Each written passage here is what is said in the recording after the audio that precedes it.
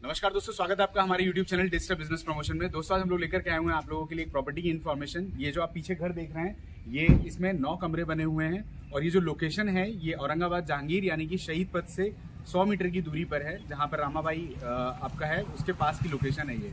अगर बात करें इस प्रॉपर्टी की तो इसमें नौ कमरे बने हुए हैं टोटल जो कि आपके रेंटल पर्पस के लिए ये मकान है। अगर इसको अगर कोई हॉस्टल पर्पस से बनाना चाहे तो वो भी इसको इस्तेमाल कर सकता है। अगर यहाँ पर अगर देखा जाए तो जो मेन रोड है इस घर के सामने, वो 35 फीट की रोड है और अगर वहीं बात की जाए इसकी दूरी की तो आपका पलाशियो मॉल मेदांता हॉस्पिटल के पास का है और अगर आप देखें एयरपोर्ट वो भी आपका नियर बाय पड़ तो दोस्तों, ये जो प्रॉपर्टी है, ये रेंटल पर्पस के लिए इसको आप यूज़ कर सकते हैं। जैसे कि अगर आपने इसको परचेज किया तो यहाँ पर जो नौ कमरे बने हुए हैं, उससे एक अच्छा खासा रेंट आएगा, जो कि एक अच्छा सोर्स ऑफ़ इनकम बन सकता है।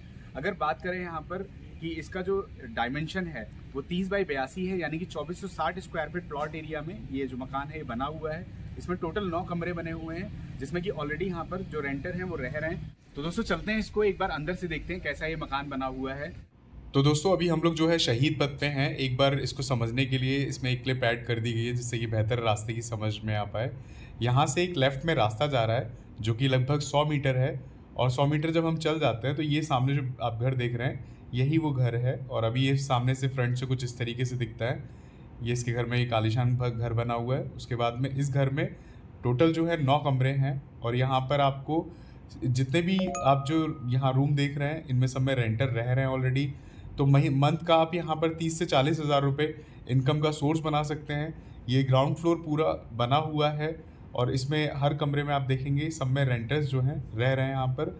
अगर टोटल अगर इसका देखा जाए तो नौ कमरे और इसमें वॉशरूम अटैच होता है रूम के अंदर ही। इसमें अगर जो भी ओनरशिप जब भी चेंज होगी तो वो कुछ मॉडिफिकेशन भी अपना कर सकते हैं या फिर इसका जो फर्श है वो चेंज करके टाइल्स भी यहाँ पर लगवा सकते हैं। जो भी आप इसमें अपग्रेड कराना चाहें, वो कर सकते हैं।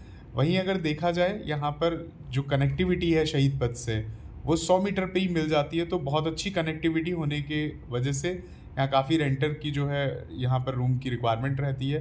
तो इसको एक अच्छा बिज़नेस का सोर्स ऑफ़ इनकम बना सकते हैं। तो अभी हमने बिल्डिंग का अंदर से लुक देखा, अभी हम लोग रूम के अंदर हैं। रूम कुछ इस तरीके से दिखता है, ये वॉशरूम है, और यहीं आपको ये रूम इस तरीके से मिल जाता है।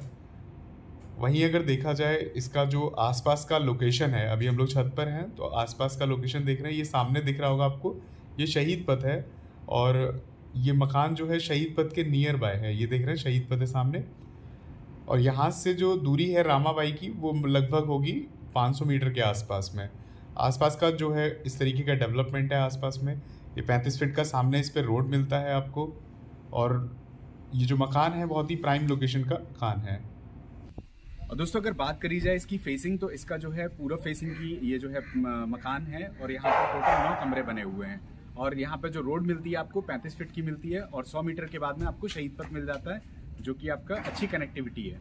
तो दोस्तों, इसी तरह की और इन्फॉर्मेटिव वीडियोस के लिए हमारे चैनल को लाइक शेयर सब्सक्राइब ज़रूर करें ताकि आपके पास लेटेस्ट अपडेट आती रहे। धन्यवाद।